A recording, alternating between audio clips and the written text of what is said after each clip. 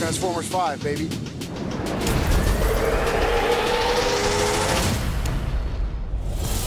在最后的骑士中，我们将会再次遇到变形金刚系列当中许多最受欢迎的人物，比如说我们的乔什·杜哈明所扮演的威廉·诺克斯中校。那在变形金刚三当中呢，我们曾经看到他是如何与汽车人一起来打败霸天虎的。今天呢，我也很开心啊，和帅气的乔什·杜哈明坐下来，来聊一聊他的角色在咱们最后的骑士当中会面临什么样的情景。OK，这里是 Talking to Hollywood with Betty Joe，Check it out。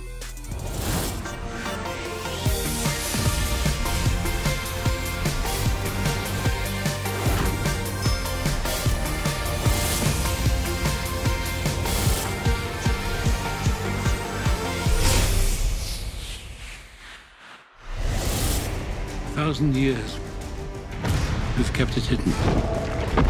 The secret history of Transformers, here on Earth.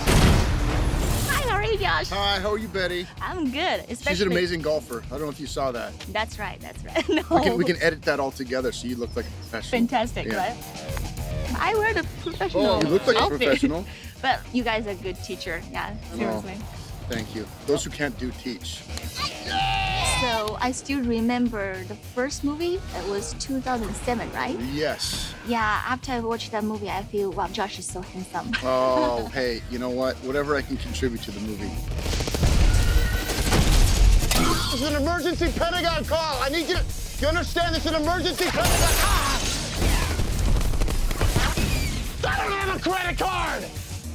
Sir, the attitude is not going to speed things up any bit at all. Talk about the new movie Transformers 5. And what was your first reaction when you heard there would be another movie? I mean, it didn't really surprise me that they're doing another one because they've been so successful Right. all over the world. These movies really are massive global films that really capture the imagination of especially men, young boys. Hey, we're the king! I'm just gonna hotwire this bitch!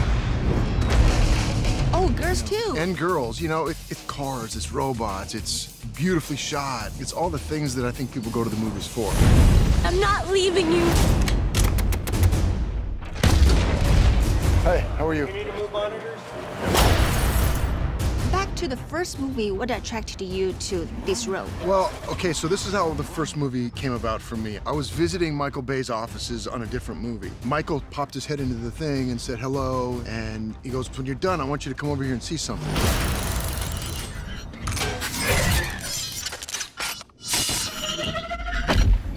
Name is Optimus Prime. They were completely reinventing the franchise, and you know, it was one of those things that I was like, I want to be a part of this, whatever I got to do. And so a couple months later, he called me in, had me read for the part of Lennox. Drop it. And here we are, it's 10 years later. Yeah. And I'm shooting my fourth one. So what makes this new one uh, interesting, different? Aesthetically, this is knights in shining armor, it's sort of uh, old world. A lot of it is shot over here in London, in and around the UK. So what people are really going to see is the history and how long these things have really been around. Right. And uh, you learn a lot more about what Cybertron is about and where the Transformers actually came from. Oh. So it really gets into the mythology behind it, and and yeah, it's a great opportunity to show how Optimus has been affected by it all, and and what he ends up doing. And I can't really tell you much more than that, other than Optimus and Bumblebee really go at it.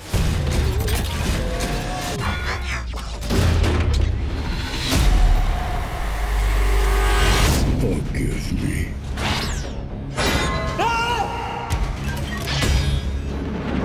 Right, stop! Can't do this! Visually, I think this movie is going to be bigger and badder than all the movies we've done before. You Even know- bigger? you know, the first three that I did were they just kept getting more and more amazing. Every time I walk onto the set, I'm like, what? Because I read the script and I'm like, oh, okay, it's a scene doing this or that. And then I get there and it's like, whoa.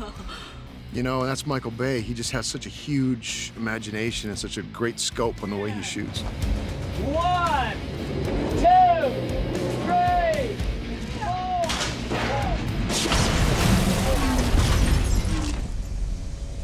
No. That is an alien dinosaur. Nobody knows what he's doing. But when I saw the movie, it's like, oh wow, that works. Yeah, well, nobody knows He's what he's very- doing, including us. Most of the time. Even you know, he, keep, he keeps it all right in here. He's like a mad scientist, and I think it keeps us all on our toes. He wants us to sort of stay open, and for, as an mm. actor, it's good because you have to sort of just be. Ready to react. Yeah. You can prepare as much as you want, but it's never going to be what you think when you get on set, and you just kind of got to be ready for anything. Yeah, he's a very talented director. Yeah. So how was it working with him? It's fun. You know, Michael Bay has this reputation that he's tough and he's mean and he's all these things, but he's really not. He's, I have more fun working with him than anybody. You know, he likes the idea that people think that he's this and that. He sort of plays into it, mm-hmm. but he's he's a big pussy cat. He's easy. he's all bark.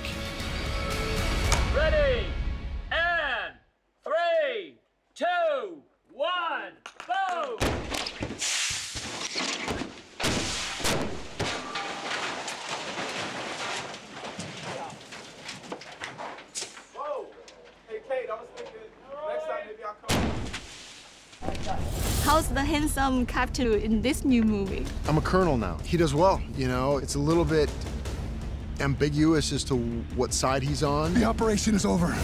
We're not giving up on Prime, okay? He's working with a unit that's sort of trying to eradicate uh-huh. any transformer, uh-huh. or at least that's what we're led to believe is that he's part of this international task force that is trying to get rid of all of them. We don't want them here on Earth anymore. But he knows the difference. He knows that the Autobots are are uh, for good good, yeah. and the De- Decepticons are the ones that are causing all the trouble. So. So you're a good guy. Yeah, I think so. I mean, but he's been a little bit affected. He's been working with and against these things for several years now, and truthfully, they've caused more havoc than anything else. So I think that, you know, he just wants peace. And you mentioned there's a big action. Did you do any special training for that? Yeah, for sure. I'm 10 years older now than I was when we first started, and I remember on the first one, it was really physical, and I wanted to make sure that coming into this one, I was going to stay healthy and not get injured, and, and that's really what I focused on, was getting as strong and as flexible as I could. So you train. Oh yeah, you know, I'm trying to be strong all the way through. It's hard to keep up with Wahlberg. that guy is a beast. He gets up at 3 or 3.30 every day, works out, and then comes and plays golf before work. I would work out in the morning at three o'clock, and then I would come here at six o'clock, and I would run the golf course. So I'd hit the ball and then run to it as fast as I can, Just and like run a the whole workout. course. Yeah. And So after that, running you go to do the Six makeup? months. Then, then we go shoot for 12 hours. He's crazy.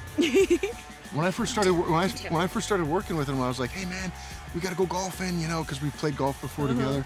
He goes, "All right, well we're getting up at 3:30 and we're gonna work out, and then we're gonna go. Uh, we play golf at like as, at the, when the sun comes up." I was like, "You know what? I'll catch you on the weekend." That's fun. yeah. Calling all Autobots. Calling all Autobots. Do you have any favorite Autobot? My favorite Autobot. Well, my favorite Autobot was Ironhide, but he got killed in a third one. Ironhide! Protect Sentinel. Get him locked up inside. Consider it done. You know, Bumblebee, Optimus, those are my son's favorites. My son is very much into the Transformers. Every time I talk to somebody on the street, he goes like, does Daddy, does he help you fight the Decepticons? I was like, no, he doesn't help me. That's just the guy that, he thinks I'm here fighting Decepticons. For real. He's three. So I'll just let him keep thinking it. Oh, Yeah, so adorable. yeah, uh, Talk about your wife, yes. London, London, London. Oh, yeah. You know, she. How come every time you come? Well, she's got a new album coming out, and it's amazing. When will you guys go to China to visit us? You know, I've never been to China. Oh, no? No, I'm dying to go. How about Fergie? Oh, she's been many times. She Oh, yeah, loves for the China. tour. Yeah, she loves China. She's Oh, been several you. times, uh, but I've never been able to go, and I've always wanted to. Do you know any Chinese word? Uh, No, you've never been no, there. teach me I can something. teach you. Teach me something. I'm gonna teach you how to say Transformers. Okay. 变形金刚. Bien xin ching kang. Oh, pretty well. That's good. Bien xin ching kang.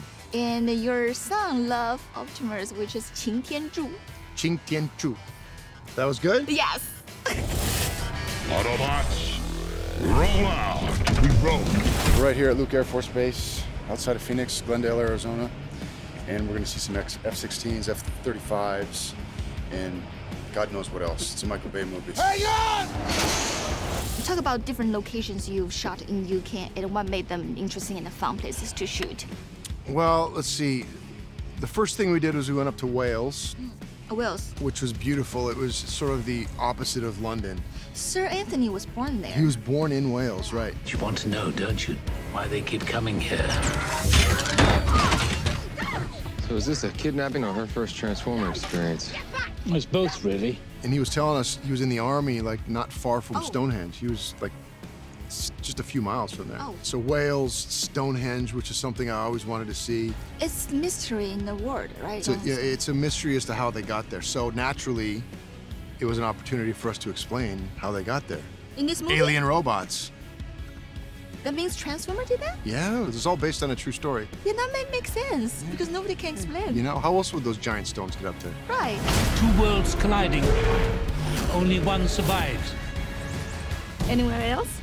Newcastle was beautiful, and a lot of these big battle scenes and stuff we shot in Detroit. A lot of the stage work that I did was in Detroit, but I worked in Wales, I worked in Newcastle, Stonehenge, some amazing castles, and oh, Isle of Skye, which is amazing in Scotland. right? Yeah, So you're gonna go to the cinema to watch this Yes. new movie? Yeah. please.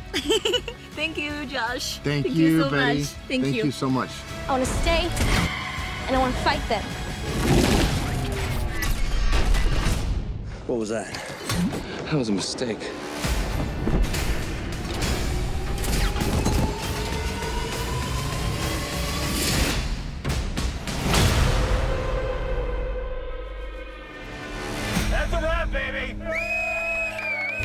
能够见到乔石·杜哈明回到变形金刚系列真的是太棒了。那我呢也是等不及想要看到他的角色威廉重返荧幕。